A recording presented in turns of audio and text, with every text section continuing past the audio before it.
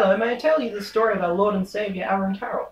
Uh, let me tell you the story of Aaron Carroll and how to analyze studies. Food isn't inherently bad, it's just how much you eat. Let me preach you the words of the pure and sacred RCTs, foretold many times through meta-analyses. Hey, no, listen. These are the words of the milk company entering your mind. Look into the research and question it, alright? I preach, I preach, listen to these words. Words of proper study where no bias is allayed.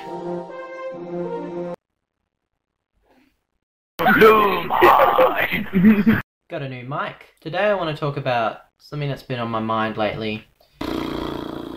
Today I want to talk about power and that you guys might have more power than you think. If you're able to watch this video, you already have a lot of influence in the world. Obviously not the majority of the influence there are 7 billion people, but more than most people.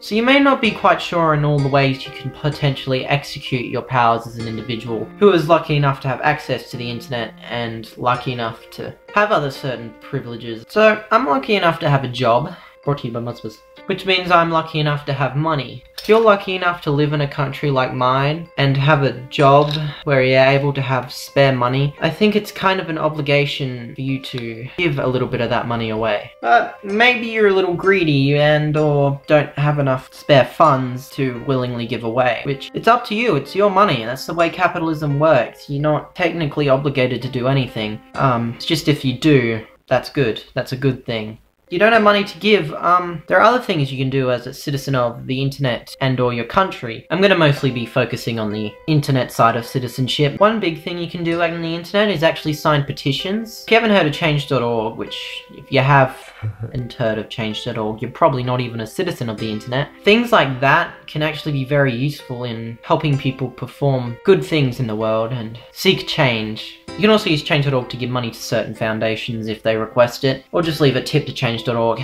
because it's a good platform and helps doing stuff.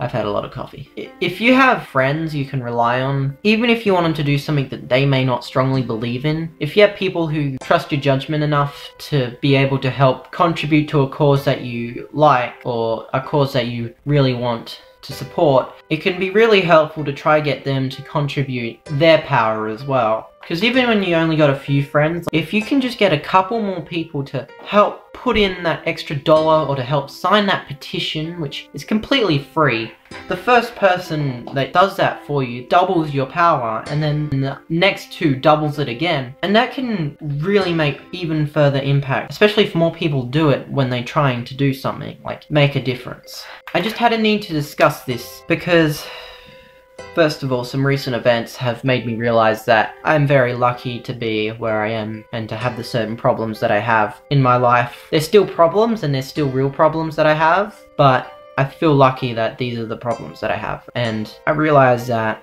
the world has given me a lot of power. I still feel like it is my duty to make sure that more people have the ability to have this power. I feel lucky as a person to be in the country that I am, to be born into the family that I was born into. Just lucky to be the person that I was. And I feel like it's kind of an obligation for me to make sure that the luck that I have gotten so far in life doesn't go in vain and that, that I'm able to use what has been given to me and to do good with it. And I want to let all of you, 52 people, by which I mean 20 because that's how many views I get per video, to also know that. So use what powers you have and use them wisely, but also remember to keep yourself happy and...